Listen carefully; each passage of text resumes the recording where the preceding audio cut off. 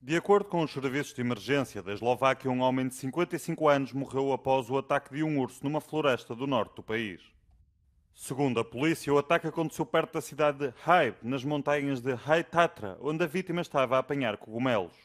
O serviço de helicópteros da Air Transport Europe afirmou que o urso atingiu uma das principais artérias inferiores do homem, provocando uma hemorragia violenta. Esta é a segunda vítima mortal de ataques de ursos na Eslováquia. O primeiro, fatal, aconteceu há quatro anos, na mesma zona.